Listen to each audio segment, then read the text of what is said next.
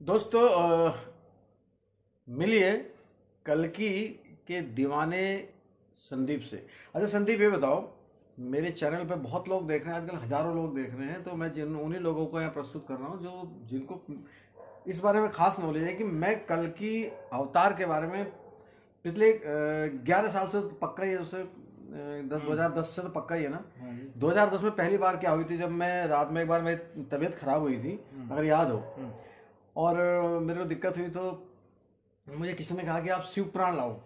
तो फिर शिवपुराण जैसे मैंने पढ़ी पहला अध्याय पढ़ा था और वहीं से शुरू हो गई थी। फिर कितनी कितने सारे ग्रंथ घर में आए थे? बहुत सारे में कई तो तुम लाए होंगे। मैं लाया क्या? मैं तो देखे भी थे लाया भी था जी। अच्छा जब लाए थे तो उनको मेरी मेरी लगन देखी पढ़ने की उनके तो प्रति? लगन तो अपना बताई थी किताबों का ढेर था आपके पास। ढेर लग गया था ना? और जबकि मैं इंजीनियर हूँ तुम्हें पता है। हाँ जी बिल्कुल।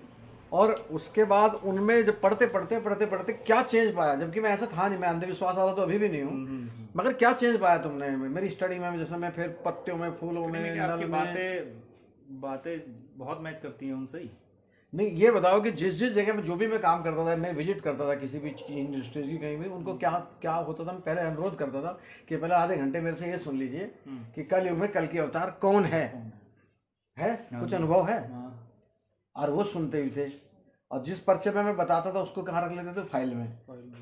ये हुआ नहीं हुआ ये होता- यही होता था वो तो आप समझाते थे बैठा के पहले एक बात होती थी। कि पहले आप मेरा ये अच्छा, तो ये असर कितने लोगों तक हुआ होगा? ये अब तो अब तो यूट्यूब के माध्यम से पता नहीं कितना पे हो रहा है। यूट्यूब से तो पहुँच गया वर्ल्ड वाइड मगर मैं ये कह रहा हूँ वहाँ पे जब मैं अकेला ही था वो तो जी अब तक याद करते हैं तो नहीं जैसे मेरे वो फाइलें मेरी भरी होंगी हम्म, उसमें कई सारी चीज़ें जो है जैसे जो कंटिन्यूटी मेरी थी उसमें उसी बीच में घटी तो नहीं वो? नहीं, घटी- ग्यारह ग्यारह साल है लगातार बड़ी होगी।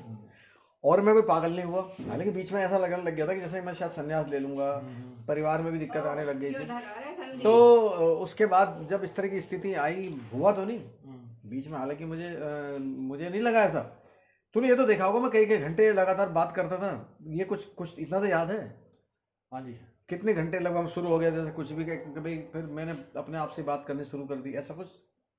नहीं आप एक्चुअली पता है क्या है? वो एक रूप सा बन गया था आपका यही है ना? हाँ जी। तो इसमें अगर और फिर बातें भी ऐसी थी आपकी का जो बोल दिया तो वो होता भी था। अच्छा बीच में कुछ ऐसा आशीर्वाद देने वाला बीच में कुछ आइटम हो गया तो बन गया था ना? हाँ जी हाँ जी ऐसा कैसे दिखा हाथ करके दिखाओ कैसे ये ऐसा करने लग गए थे? हाँ अब तो नहीं होता। नहीं अब नहीं लेकिन